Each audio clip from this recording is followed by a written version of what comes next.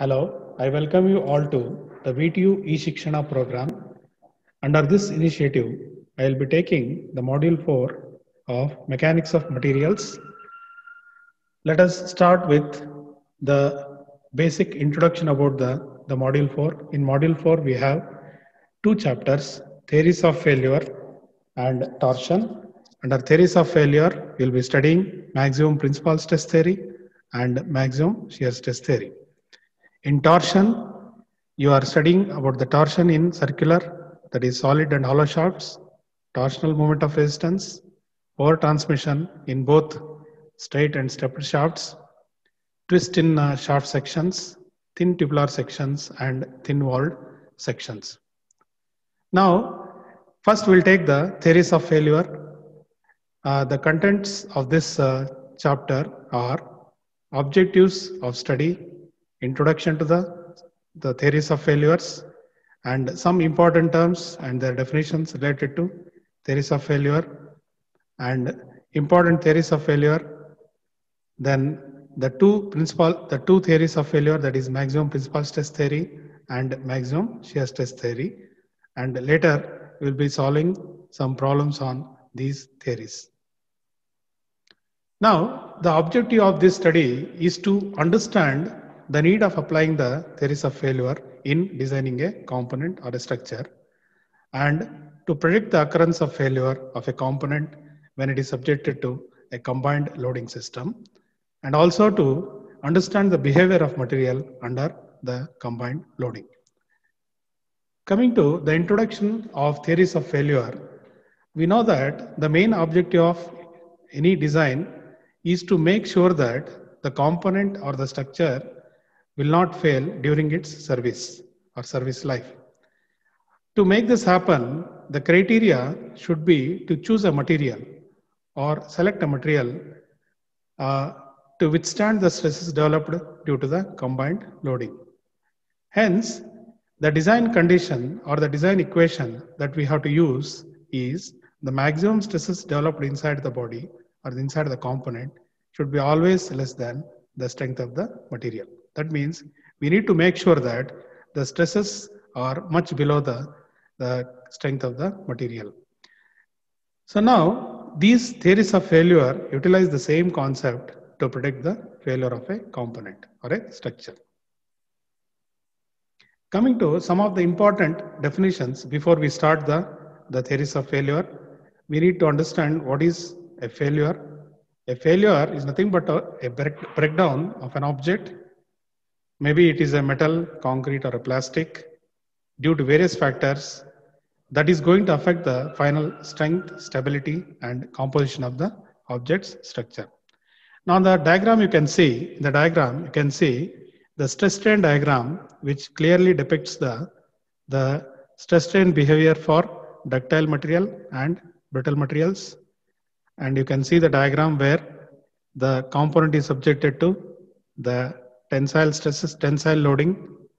And now you can see that in case of ductile materials, the stress strain behavior is spread over a graph where the salient points are proportionality limit, then the yield point, then ultimate uh, strength, and finally the breaking point.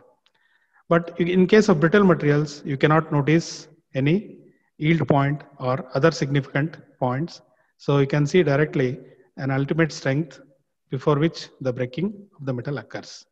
So on the right hand side, you can see for ductile materials, a neck formation takes place and there is a sufficient deformation of the material before the failure occurs. Whereas in case of brittle materials, there is no neck formation, but the failure occurs uh, at this point. So the criteria, the maximum strength that we can take here is, in case of ductile material, we'll take the, the yield strength as the, the limiting factor. And in case of brittle material, the ultimate strength as the limiting factor, which we'll study in detail in the coming topics. Now, the other term which is important here is principal stress. We know that the principal stresses are defined as the normal stresses calculated at, at an angle when the shear stresses are zero. In the absence of shear stress, the principal stresses are nothing but the normal stresses acting on a plane which is called as principal plane. So the principal stresses normally occur in two values. The maximum value is known as the major principal stress and the minimum value being the minor principal stress. So these principal stresses can be calculated by the equation that is shown here. Sigma 1 and 2 are indicating the major and minimum, uh, minor principal stresses where sigma x and sigma y are the, the direct stresses or the axial stresses acting along two planes, x and y planes, mutually perpendicular to each other. And tau square xy is the shear stress acting on the lateral plane. So now coming to the theories of failure, there are five important theories of failure. Uh, one is the maximum principal stress theory, second maximum shear stress theory, third maximum principal strain theory, maximum strain energy theory, and the last one maximum shear strain energy or distortion energy theory. Now, according to Rankine, the first theory, that is principal stress theory, states that whenever the principal stress reaches a critical value or a limiting value, the failure occurs. The second one, according to Guest and Tresca theory, the limiting value is shear stress here. When the shear stress reaches a critical or limiting value, the failure of the component or structure occurs. And then third, according to Saint Venant's theory, the, the failure may occur when principal strain reaches a, the critical or limiting value. Then according to Beltrami and Haigh theory, the strain energy when it reaches a critical or limiting value, the failure of the material may occur. And the last one, when the strain energy or the distortion energy, when it, reach, when it reaches the, the critical value, the uh, failure of the material may occur. Now, some of the factors that are responsible uh, for the failure. Now here, the, the three factors that are considered in all the theories are stress, strain, and energy. The stresses considered are principal stress or normal stresses and shear stresses. Then the strain considered is principal strain and energy considered are maximum strain energy and max, uh, shear strain energy. And the, the theories that can be applied for different types of materials are, so you can see in case of ductile materials, two theories can be applied effectively, usefully, like maximum shear stress theory and maximum distortion energy theory. Whereas in case of brittle materials, maximum principal stress theory, maximum principal strain theory, and maximum strain energy theory can be applied. So this is just a brief introduction about the, the theories of failure. And as per the syllabus, we have only two theories. One is maximum principal stress theory and maximum shear stress theory. So let us start with the maximum principal stress theory. According to this theory, the failure of a component when it is subjected to a biaxial or triaxial stresses occurs when the maximum principal stress, now this maximum principal stress reaches a the critical value. That critical value is chosen as yield stress. Okay. So now suppose that if sigma 1, sigma 2 and sigma 3 are the principal stresses acting along three mutually, mutually perpendicular planes or directions so suppose that we take sigma 1 is greater than sigma 2 and uh, further it is greater than sigma 3. Then sigma 1 being the largest. Now we can say that the failure according to this theory occurs when this maximum principal stress reaches the limiting value that is yield stress. That means we should always design the material in such a way that the maximum principal stress is there. Uh, stress is always below the yield stress of the material that we can see here. So now according to this theory, our condition, design condition or the design equation uh, becomes this. In case of ductile materials, we are taking the maximum principal stress should be much below the uh, uh, yield stress. So for the, to make this show, uh, to ensure this, we are dividing this by factor of safety. So that uh, when you design a material, taking this value then it will be always under the safe limits.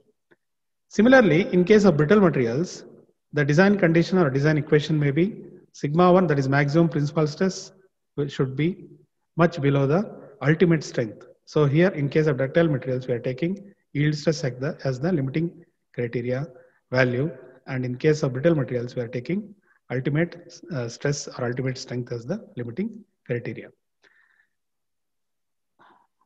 Now, this coming to the second theory, that is maximum shear stress theory.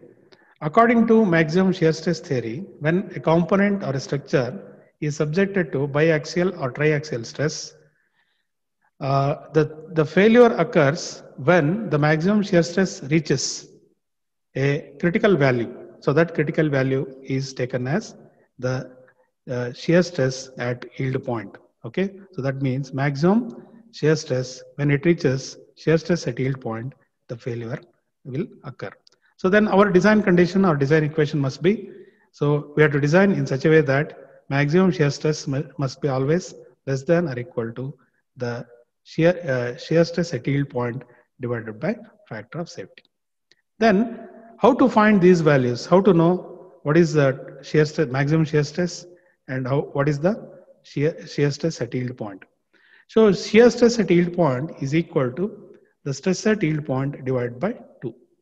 So this will give you the, the shear stress at yield point. Then how to calculate the maximum shear stress?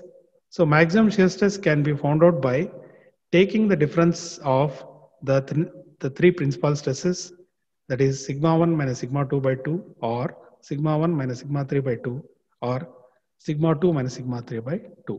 So the maximum of this value may be considered for the uh, limiting compared with the limiting value to estimate the failure of the material.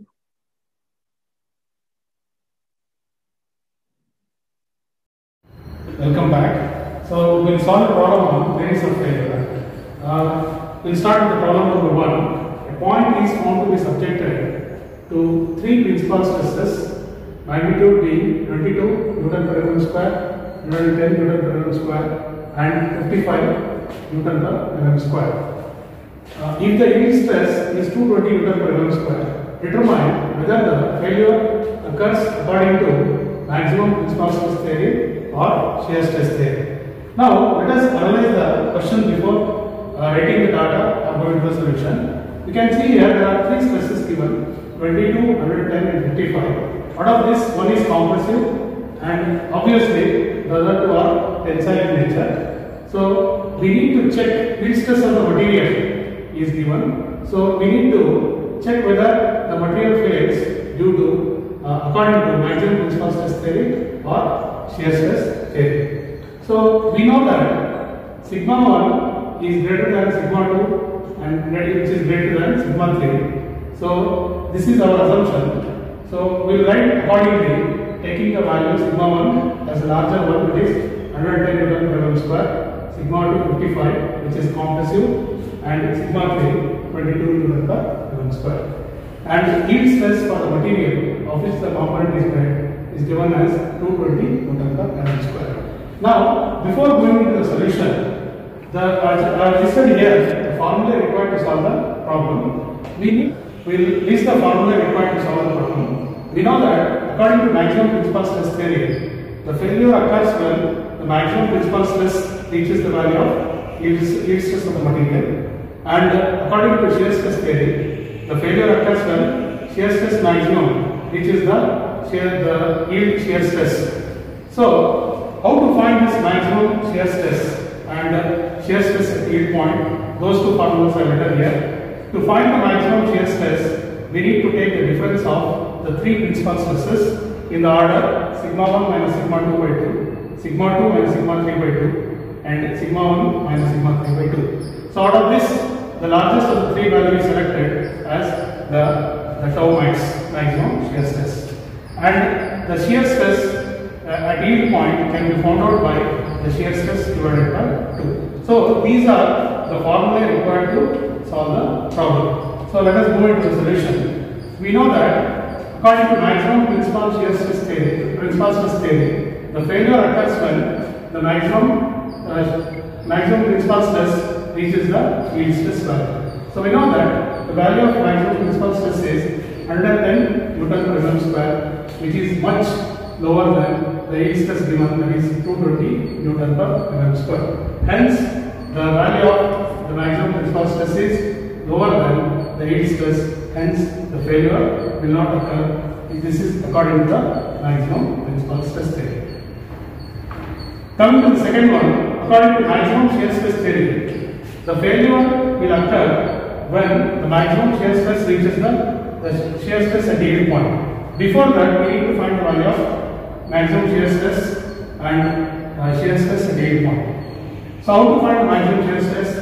You have to take the difference of sigma 2 minus sigma 3 by 2, sigma 1 minus sigma 3 by 2, the largest of these three values. Now, in this problem, sigma 3 value is not given, so it is 0. So then the equation reduces to sigma 1 minus sigma 2 by 2, sigma 2 by 2 or sigma 2, sigma 1 by 2. So out of these three, you have to take the, the larger value. So the, since sigma 2 is compressive, this uh, sigma 1 and sigma 2 by 2 gives the larger value. So taking the value 110, 55 is compressive, so I have taken negative here. So this uh, gets a value of 82.5 Newton per square. So maximum shear stress is 82.5 Newton per square.